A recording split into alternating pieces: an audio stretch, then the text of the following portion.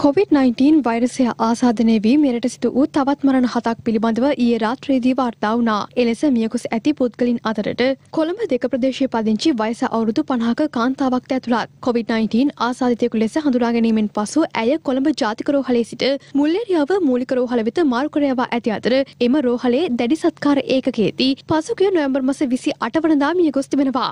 මරණයට හේතු ලෙස දැක්වෙන්නේ කොවිD-19 නියුමෝනියාව සහ නිදන්ගත පෙනහළු රෝගයක්. ගොතටු ප්‍රදේශය පදිංචි හතලිස් අට හැවරිදි පිරිමි පුද්ගලෙක්ද පසුකී නොවැම්බර් මස විසි හත්වනදා නිවසේදී මිය ගොස් තිබෙනවා. මරණයට හේතු ලෙස දැක්වෙන්නේ කොවිඩ් නියමෝනියාව සමග නිදන්ගත පෙනහළු රෝගයක් සහ දියවැඩියාව උත්සන්න වීමයි. මොරටුව ප්‍රදේශය පදිංචි වයස අවුරුදු හැත්ත තුනක පිරිමි පුද්ගලෙක්ද COVID-19 ආසාධිතයකු ලෙස හඳුරාගෙන ප්‍රතිකාර ලබමින් සිටියදී හෝමාගම මූලික රෝහලේදී ඊයේ දින මිය ගොස් තිබෙනවා. මරණයට හේතු ලෙස දැක්වෙන්නේ COVID-19 ආසාධන හේතුවෙන් උග්‍ර වූ නියුමෝනියා තත්ත්වයයි. හලාවත ප්‍රදේශය පදිංචි වයස අවුරුදු හැත්තෑවක පිරිමි පුද්ගලයෙක්ද හලාවත මූලික රෝහලේදී ඊයේ දින මිය ගොස් තිබෙනවා. මරණයට හේතු ලෙස දැක්වෙන්නේ දියවැඩියාව අධික රුධිර පීඩනය සහ ආඝාතය සමග COVID-19 නියුමෝනියා තත්ත්වයයි.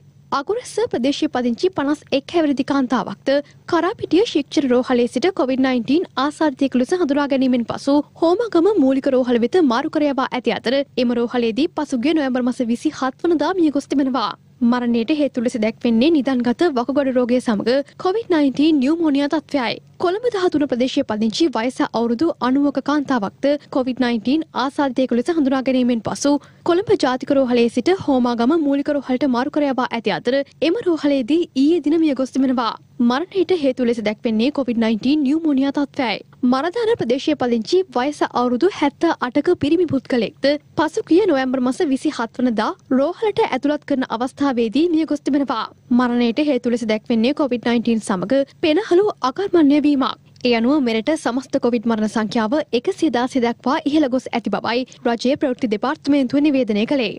මේ අතර පවතින COVID-19 වසංගත තත්ත්වය හමුවේ හුදකලා කරනු ලැබූ ප්‍රදේශ කිහිපයක් අද අලුවිම සිට හුදකලා බවින් ඉවත් කෙරුණා. ඒ අනුව කොළඹ දිස්ත්‍රික්කයේ මට්ටක් කුලිය වෙරළබට පිටකොටු යන පොලිස් වසම් අද උදෑසන පහේ සිට හුදකලා බවින් ඉවත් කෙරුණා.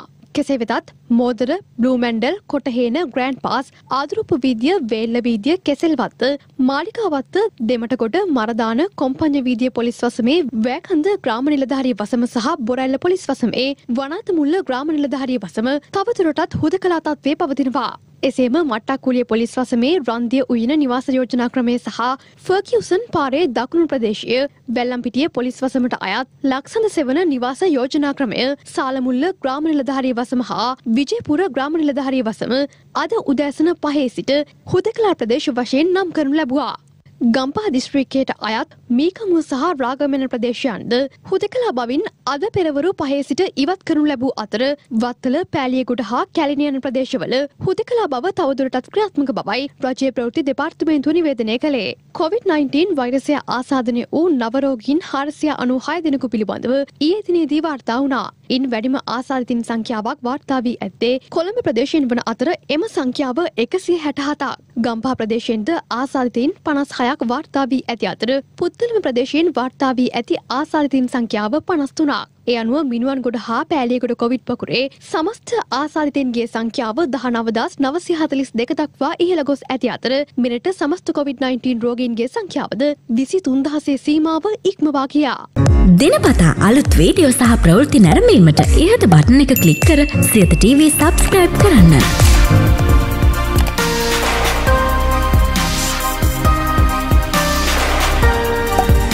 අලුත් වීඩියෝ ගැන මුලින්ම දැනගන්න මෙම සීනුව කලික් කරන්න.